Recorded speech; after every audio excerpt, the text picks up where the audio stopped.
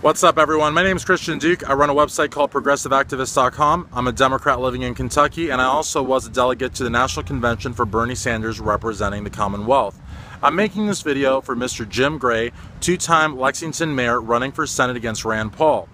I went to Jim Gray's website and I looked at the platform, and to be quite honest with you, I'm not really sure where he stands on a lot of the issues. So if Jim Gray sees this video or someone from his campaign sees it or a supporter sees it and wants to point me in the right direction, I would really appreciate it.